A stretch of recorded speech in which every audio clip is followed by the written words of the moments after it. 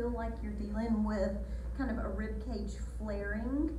Um, so what I would encourage first is even just laying on the back and taking a few good deep breaths, really trying to mobilize the ribs, almost like the ribs are kind of like an umbrella that you can move 360 degrees. So breath in, you'll find that the rib cage expands laterally, also up and down. With your breath out, I want you to really notice how you can maybe start to rest the ribs down on the mat.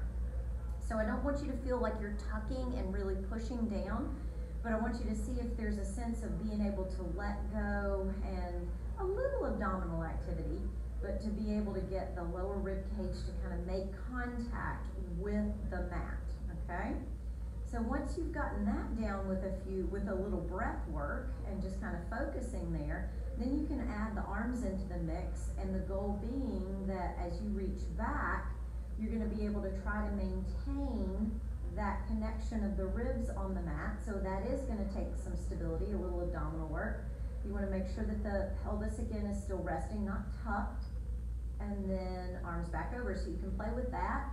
Um, just working again to start to add some motion while being able to stabilize the rib cage. And then eventually, if you choose, you could even add legs lifting to a 90-90, so a little bit more abdominal work. So goal being that you can feel the front of the abdomen kind of dropping down versus popping up. You can still maintain the ribs connected to the mat, head resting on the mat. And again, you can continue to add the arms, still being able to try to make, or, or, or to feel that you can allow the ribs to rest on the mat. Again, there's activity. I just don't want you to feel like you're gripping or pushing the ribs down to the mat. So those are a few things. One more that I think about is just getting good mobility in the rib cage. And so from yoga, you might know this kind of like a thread the needle.